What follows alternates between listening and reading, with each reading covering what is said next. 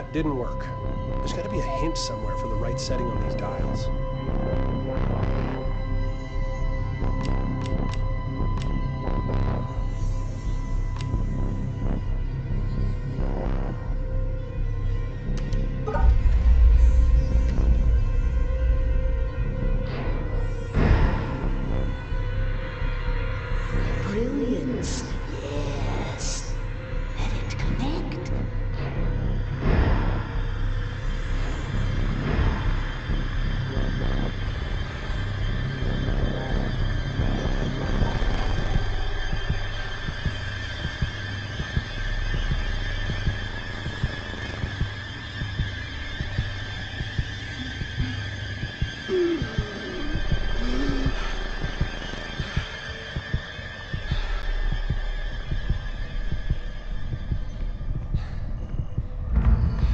Therapist's office. I can still smell the musty leather sofa in the corner. My parents took me here when I started having night terrors. I understand that some might consider my behavior obsessive. Yes. We may not agree on the finer points, but I can't let it go on any longer. Not like this. My father, he always used to say, Cynthia, your brain has its own mouth, and all it does is devour books. I was insatiable. I learned to see data where no one had ever thought to look. But I never thought it would consume me, strip me of my accolades, that it would affect my son. I can't keep doing this. That second mouth in my head, it just keeps eating. It will never stop. I. I know how that sounds.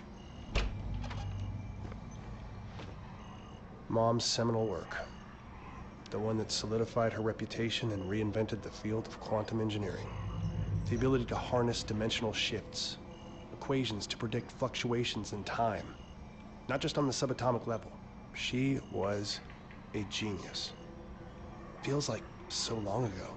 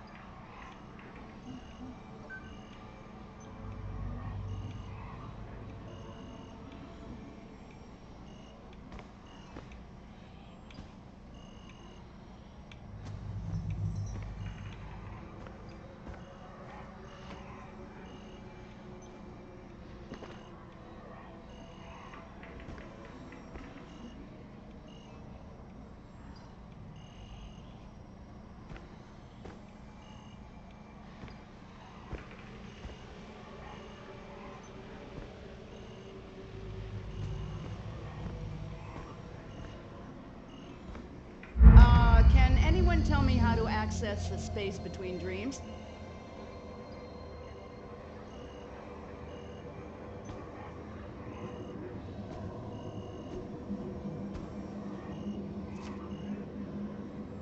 Excellent try, Gloria. However, while the roads of Agartha do traverse the vastness of time and space, the corridors between dreams are a separate sort of passageway, and the two only intersect in very rare places.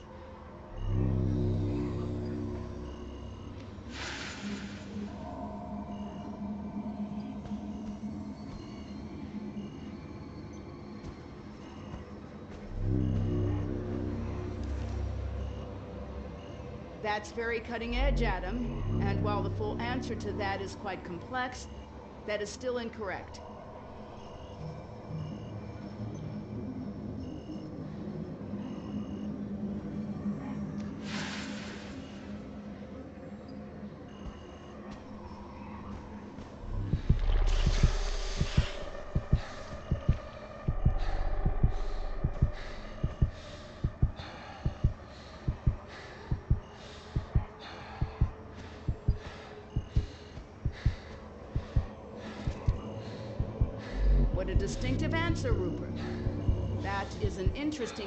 Theological paradox, but it is wrong.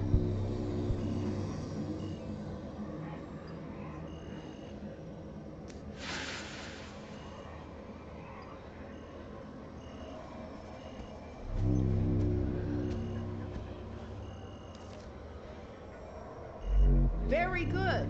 The answer is the dreaming ones.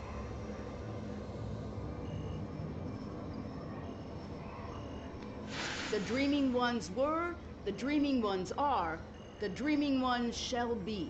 Not in the spaces we know, but between. They walk serene and primal, undimensioned and to us unseen. They can teach us deep knowledge, secrets past the skin of eternity.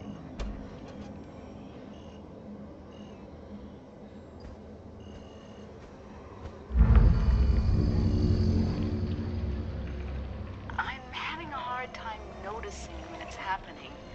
Yesterday, I saw a light streaming through the kitchen window. A mote, illuminated, suspended in the air. I spent the the day in my office researching. I've been accused of isolating myself. I, I merely am who I am and have always been. Isolated. Isolated by knowledge. Imagine discovering a dictionary of new words to describe the universe. Words that no one else could ever know. The promise of limitless knowledge to an insatiable mind. Is it any surprise I struggle with domesticity? But I had to make a choice. I'm sealing it away. I have to try. Shane is my universe. After the seizures started, she tried for a while. We were really close the summer she left her tenure, but I could tell she was restless. Wouldn't stop writing. She'd snap at the smallest things. The book sold really well, though. Popular with the pseudoscience crowd.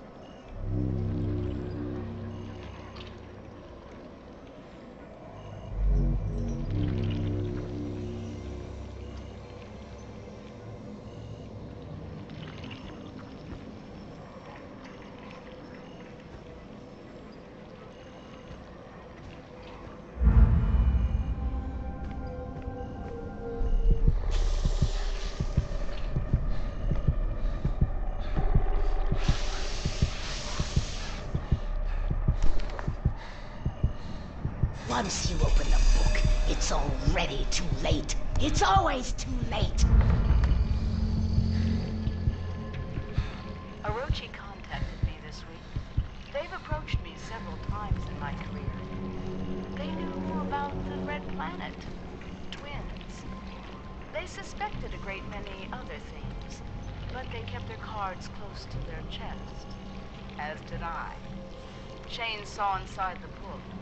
Just a glance, and it was enough. They can never know.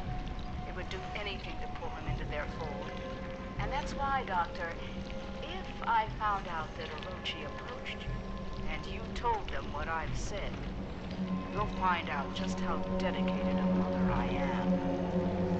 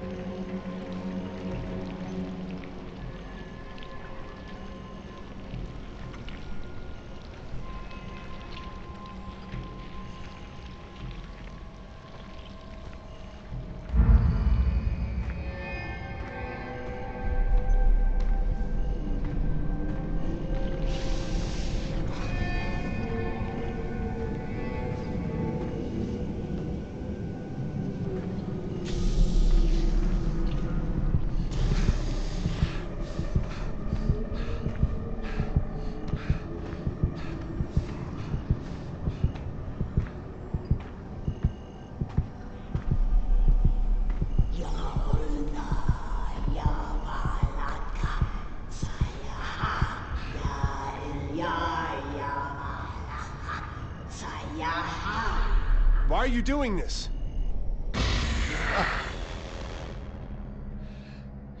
They cannot awaken. The moons bend above us. It is all but a brilliant equation. Please, I need you to help me. I thought I am. I was. I will. God damn it, who are you?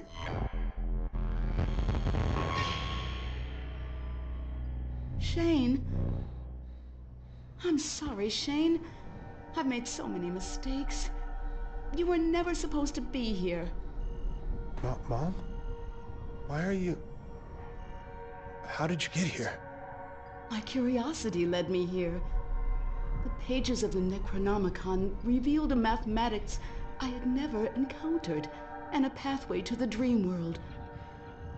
I didn't know that once I made the choice, I could never return. The decision has weighed on me ever since. Weighed on you? Do you have any idea what that did to us? To Dad? When you left, it broke him. We searched for you for years. Shane, please, listen. Has it been you this whole time? In the base, haunting the crew? Driving us crazy with these nightmares? Stop! The struggle tears at my soul. It takes every ounce of concentration I have to remain here. I need your help, son. We must act quickly. When the ship passed between the moons, the twin dreamers were disturbed in their slumber. All the chaos you've witnessed, the filth, that creeping horror is only a fraction of the destruction that it can bring. If they corrupt the engine, the moons of Mars, the dreaming ones will awaken, and they will devour all of reality. You left me. You left us for a delusion. What the fuck do you care about reality? Reality is where my son lives. What do I need to do? Find the Gaia engine. I will help you do what must be done. Help me, Shane. Help me undo what has been set in motion. Please don't leave again. Don't worry. We'll solve this. Together.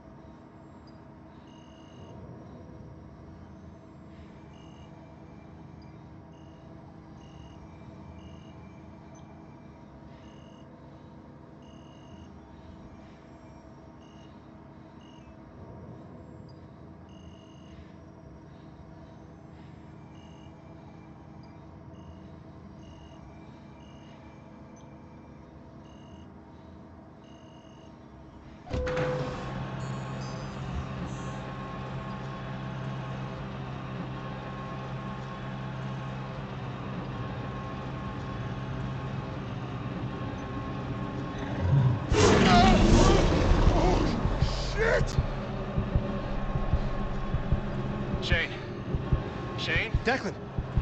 Sorry, I, I, uh, I don't know what happened. Uh, there's so much more down there, Declan.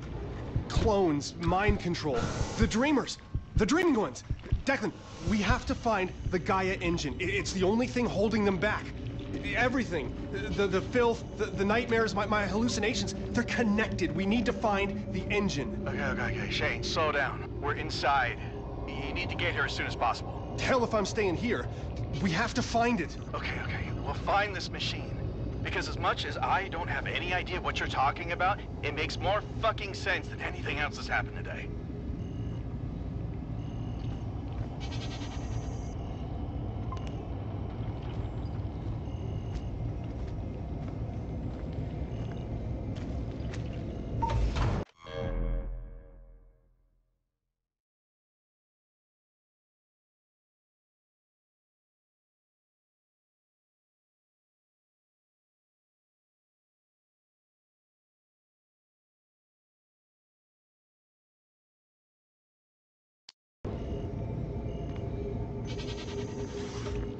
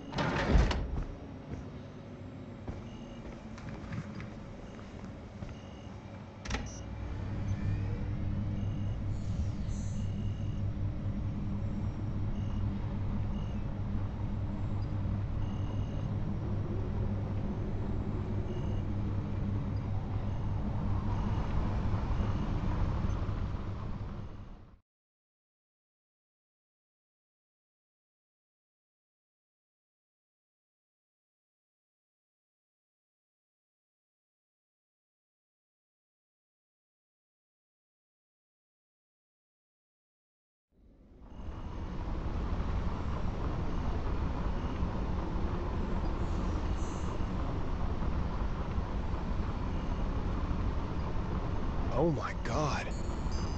I'm arriving at the door now. It's massive. Yeah, these stone carvings must be thousands of years old. The records of excavation you found in Argus? This must be the place. I'll meet you inside.